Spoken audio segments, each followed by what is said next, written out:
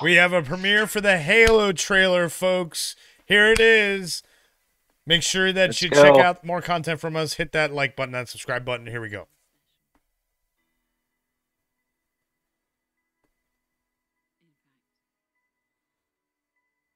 Oh my gosh. So this is like early days, I think. Okay. Oh, look at this. Show me Master Chief.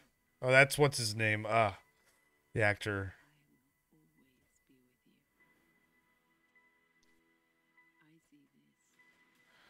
Oh, look at that.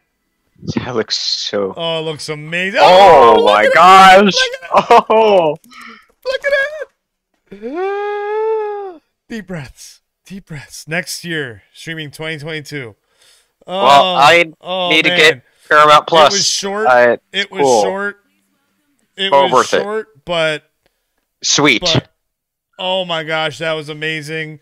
We just saw the first trailer for the new Halo TV show coming 2022. Make sure that you do smash awesome. that like button.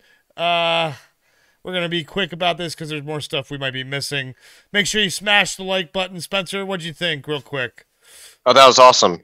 Yeah, Uh, looking forward Yeah. to it. Me too. Yeah, that Make sure you wanna armor get was- Paramount Plus. Amazing. That armor was amazing. I already have Paramount Plus, so I'm happy I do, and I have the Showtime add-on too.